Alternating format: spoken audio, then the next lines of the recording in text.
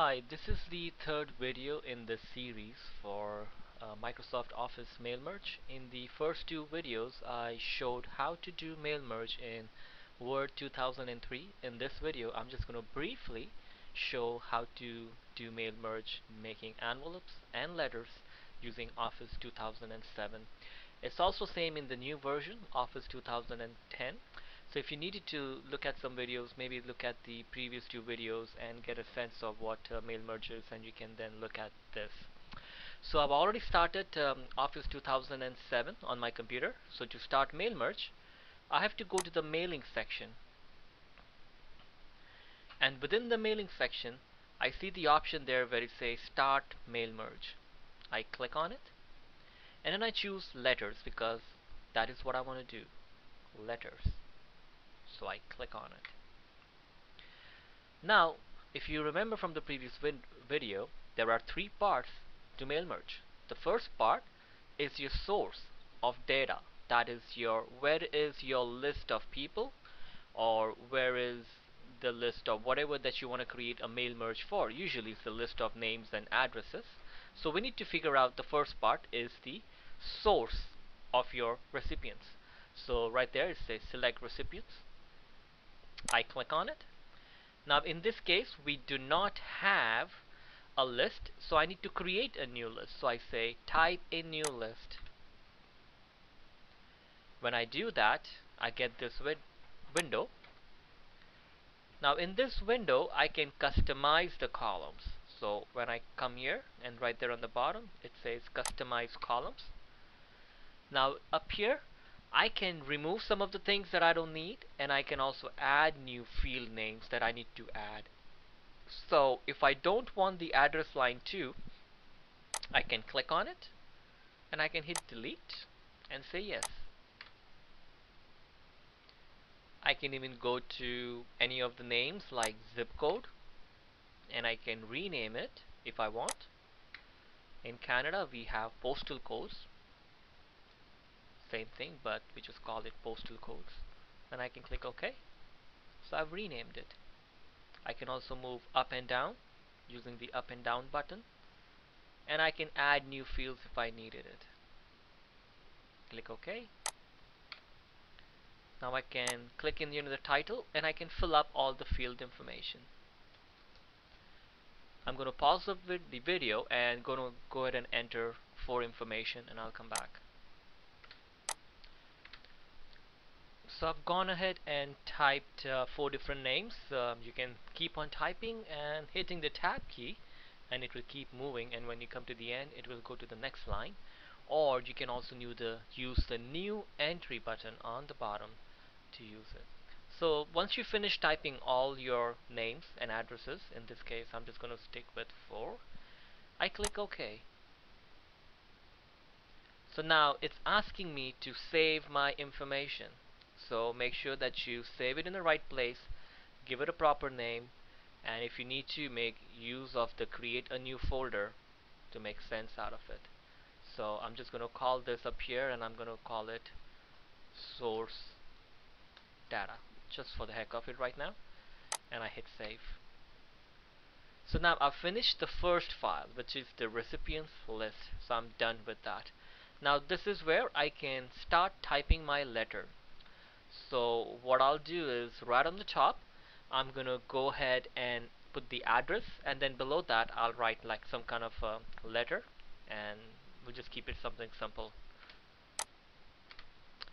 so the cursor is blinking now if I want to put the per title there Mr. Mrs. and the first name all I do is I come here into the section here called insert merge field I click it choose title I put a space bar click here again first name put a space last name.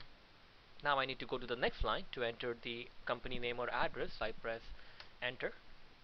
I can go back here company name enter come back here address line 1 enter city comma space state enter so I could do this the way I want it. I'm just going to press enter a few times and then if I want I can write dear insert title space and their last name. Enter. You are just something simple for now. So I've typed out my letter. This is the generic letter. This is uh, that the letter that is common to everybody and wherever it says title first name it will actually put in the names in there. So now once I've typed it if I want to see what it will look like there is a button up here called preview results. So if I click on it you will see that on the page it says Mr. John Doe and the name. So now it's just giving me an indication what my information will look like when I actually merge it I can click it again on the preview results button. It just goes back to showing me the title first name. Now the last step is to finish and merge and there is a button up there at the end. I click it. Now I could directly go to print. However it's better to go to edit individual documents? I click it. It is asking me do you want all the records? If you had say a thousand record and if you just want it from 1 to 500 so you could just say from 1 to 500 in that box. I'm going to click OK. Now I will have four letters here with individual names. So let's scroll down. And that's the first John Doe. Here's the second Lisa Jones. Here's the third Nita Nair. Here's the fourth. So this is my final letter. This is what I will print when I need to and I can send it out to people. So this was mail merge in Office 2007 now I'll show you how to use your existing list that you created and how you can do envelopes using Office 2007 in mail merge. So let's look at how to create envelopes using mail merge and using an existing list that you already have. There is a good chance that if you're working in any office or any environment, in any environment you'll find that they already have typed up the list of the customers or whatever it is. So again, if you want to start mail merge, you go to the mailing section and up here you click on start mail merge and we need to do envelopes so I can click on that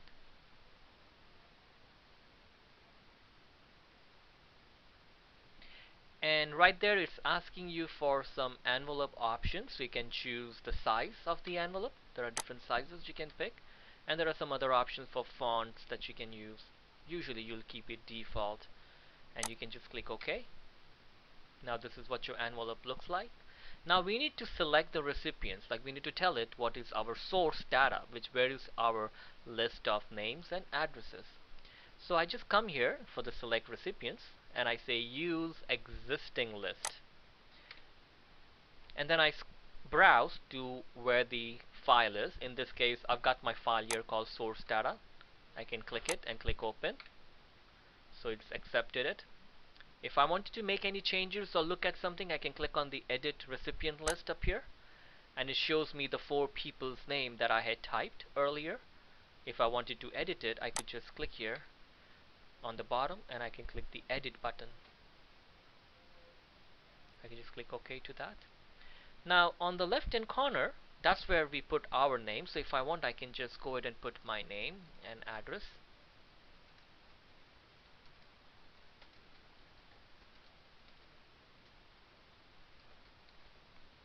So I can just put my address exactly the way it is so that it shows up automatically on all of them now if I take my mouse and I click in the section where I'm supposed to type the receiver's address I click come here in the somewhere and click it and I see a box. So and now I've got the blinking line in the section where I need to put the the sender's the receiver's address.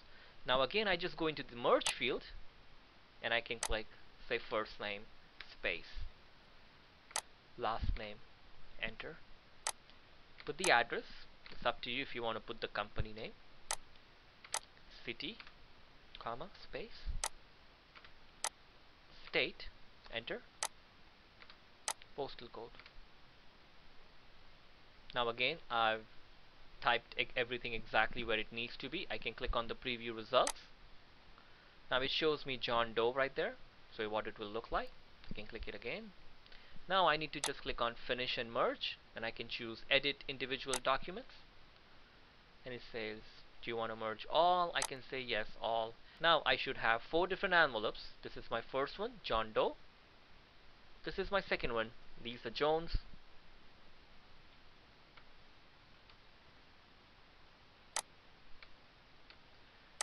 And then the third one Nita fourth one Anthony.